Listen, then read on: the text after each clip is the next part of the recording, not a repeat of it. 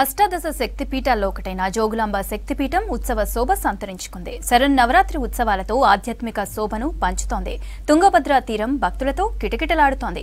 భారతీయ చారిత్రక వారసత్వ సంపదకు నిదర్శనం. నవ బ్రహ్మాలయాలకు నిలయం. తెలంగాణ రాష్ట్రంలోని ఏకైక శక్తిపీఠం అలంపూర్ జోగులాంబ క్షేత్ర విశిష్టతపై V six special story.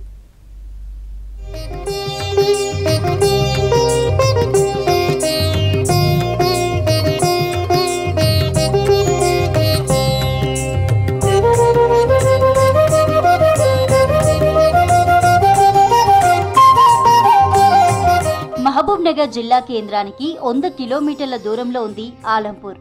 అనేక పేర్లతో ఆలంపూర్ను పిలుస్తారు. బ్రహ్మేశ్వర క్షేత్రమని పరశురామ క్షేత్రమని భాస్కర క్షేత్రమని దక్షిణ కాశీగా తర్వాత హలంపురం హేమలాపురం హల్కపురంగా పిలువబడింది. కాలక్రమేణా అది కాస్త ఆలంపూర్గా రూపాంతరం చెందింది. పూర్వం నల్లమల్ల అటవీ ప్రాంతం ఆలంపూర్ క్షేత్రం వరకు విస్తరించుండేది ఈ ఆలంపూర్ క్షేత్రం ఎన్నో శతాబ్దాల చరిత్ర కలిగి ఉంది. కృష్ణా తుంగభద్ర నది చెంతన ఉండి దక్షిణ కాశీగా పిలువబడుతున్న ఈ దివ్యధామంలో ప్రధాన దేవతలు జోగులాంబ బాలబ్రహ్మేశ్వరులు.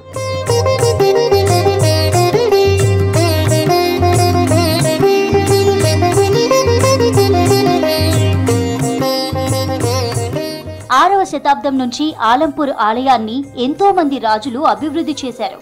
ఆలయంలో మిగిలిన ఆనాటి ఆనవాళ్ళను రాజుల పరిపాలనా క్రమాన్ని ఈ తరం చరిత్ర పాఠాలుగా చెప్పుకుంటోంది. బహుమని సుల్తానులు ఆలంపూర్ ఆలయంపై దండయాత్ర చేస్తే రాజులు తిప్పికొట్టి అద్భుతమైన శిల్ప సంపదను భవిష్యత్ తరాలు వీక్షించే అదృష్టాన్ని కల్పించారు. స్కంద పురాణంలో శ్రీశైల ఖండంలో సనతకుమార సందంలో చెప్పినట్టు ఆధారాలున్నాయని అర్చకులు చెబుతారు. ఆలంపూర్కి కాశీకి ఉన్న పోలికలు స్పష్టంగా ఉన్నందువల్లే దక్షిణ కాశీ అనే పేరు వచ్చిందని అంటారు. కాశీలో విశ్వేశ్వరుడు ఆలంపూర్లో బాలబ్రహ్మేశ్వరుడు. కాశీలో గంగా యమునల సంగమం ఆలంపూర్లో కృష్ణా తుంగభద్ర నదుల సంగమం. అక్కడ ఇక్కడ అరవై నాలుగు స్నానఘట్టాలున్నాయి. కాశీలో విశాలాక్షి ఇక్కడ జోగులాంబ ఉన్నందునే శైవ క్షేత్రంగా శక్తి క్షేత్రంగా పిలుస్తారని అర్చకులు చెబుతారు. పూర్వం ఎప్పుడో రససిద్ధులు చెప్పి ఉన్నారు. బ్రహ్మేశోయం సవిశ్వేష. కాశీలో ఎలాగైతే బ్రహ్మేశ్వరుడు ఉంటాడో అలాగే ఈ అలంపుర క్షేత్రంలో కూడా బాలబ్రహ్మేశ్వరుడు అలంపూరుడు దక్షిణ కాశీ అని పేరుగాంచిన క్షేత్రం ఈ యొక్క అలంపుర క్షేత్రం. బ్రహ్మేశోయం సవిశ్వేష సా కాశీ హేమలాపురి. కాశీలో ఎలాగైతే బ్రహ్మే విశ్వేశ్వరుడు ఉంటాడో అలంపుర క్షేత్రంలో బ్రహ్మేశ్వరుడు ఉంటాడు. సా సా గంగా తుంగభద్రేయం. అక్కడ ఉత్తరవాహిని ఎలాగైతే గంగా నది ప్రవహిస్తుందో ఇక్కడ ఉత్తరవాహిని తుంగభద్ర లాగా ప్ర ప్రవహిస్తూ ఉంటుంది. దీని ఆ కాశీ ఎలాగైతే అరవై నాలుగు స్నానపు ఘట్టాలు ఉన్నాయో ఈ యొక్క అలంబ్ర క్షేత్రంలో కూడా అరవై నాలుగు స్నానపు ఘట్టాలు ఉన్నాయి. ఈ యొక్క అలంబ్ర క్షేత్రాన్ని దక్షిణ కాశీ అని పే- పేరుగాంచింది. అష్టాదశ శక్తి పీఠాల్లో జోగులాంబ ఆలయం ఐదవ శక్తి పీఠంగా ఉంది. క్రీస్తు శకం ఆరవ శతాబ్దంలో జోగులాంబ అమ్మవారి ఆలయాన్ని చాళుక్యులు నిర్మించినట్లుగా చరిత్రకారులు చెబుతున్నారు. బహుమని సుల్తానుల కాలంలో ఆలయాన్ని ధ్వంసం చేసి నేలమట్టం చేశారు. శిథిలమైన ఆలయం నుంచి అమ్మవారి విగ్రహాన్ని కాపాడి బాలబ్రహ్మేశ్వర ఆలయంలో భద్రపరిచారు. అమ్మవారి ద్వారా పాలకులు చండీ ముండి విగ్రహాలు బ్రహ్మేశ్వర స్వామి సన్నిధిలో ఇప్పటికీ దర్శనమిస్తాయి. పాత ఆలయ వాస్తు రీతిలో రెండు వేల ఐదులో పునఃప్రతిష్ఠించారు. ఆలయ మండపంలోని స్తంభాలకు అష్టాదశ శక్తి పీఠాలన్నింటినీ చూడొచ్చు. అమ్మవారు ఉష్ణ రూపం కావడంతో చల్లదనం కోసం ఆలయం చుట్టూ జలగుండం ఏర్పాటు చేశారు. దేవాలయం పైకప్పు మధ్యలో నాగం పద్మం చెక్కబడున్నాయి ఉన్నాయి.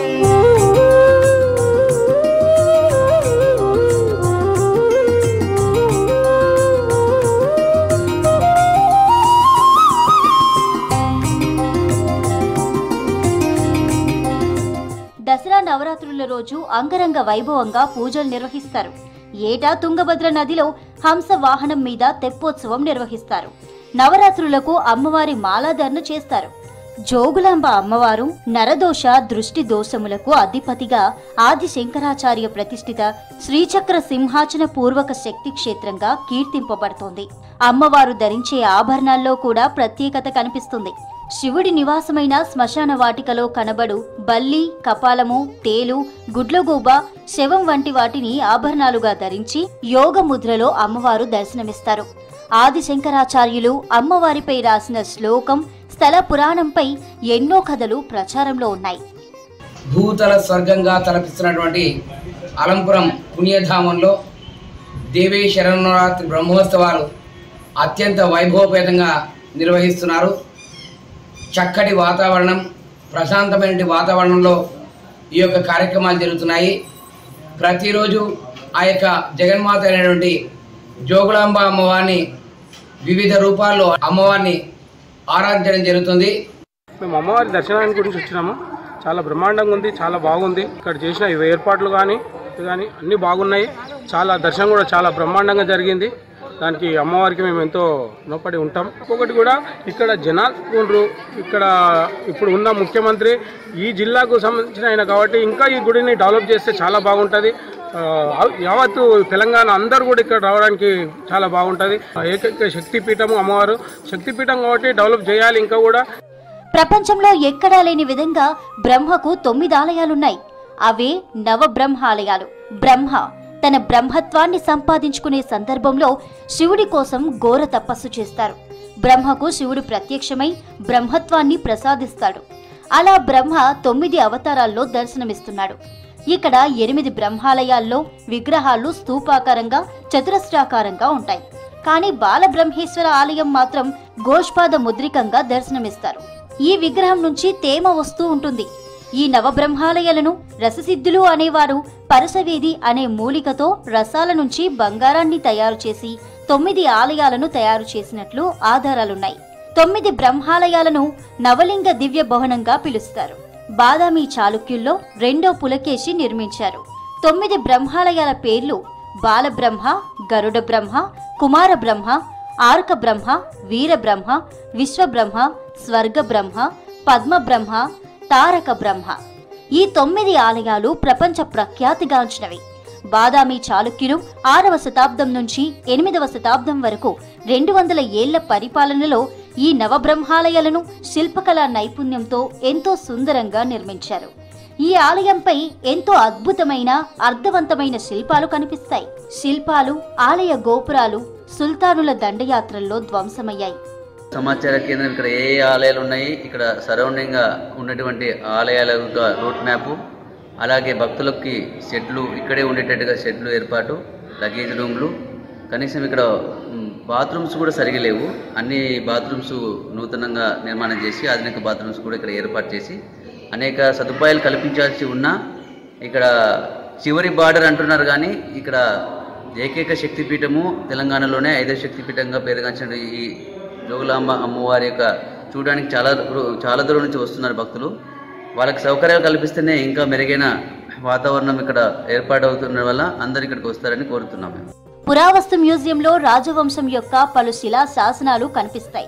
మొదటి విక్రమాదిత్యుడు రాష్ట్రకూటులు కళ్యాణి చాళుక్యులు కాకతీయులు విజయనగర రాజులు పాలనా కాలం నాటి చారిత్రక ఘట్టాలు ఇక్కడ దర్శనమిస్తాయి. శాతవాహన నాణేలు పూసలు గాజులు ఇటుకలు ఎరుపు నలుపు మట్టి పాత్రలు లభ్యమయ్యాయి. ఇవి శాతవాహన ఇక్ష్వాకుల కాలానికి చెందినవి. పరిరక్షింపబడిన అద్భుతమైన శిల్పాలు పురావస్తు మ్యూజియంలో భద్రపరిచి పలుమార్లు అంతర్జాతీయ స్థాయిలో జరిగిన ప్రదర్శనల్లో ఆకట్టుకుని ప్రథమ బహుమతులు అందుకున్నాయి.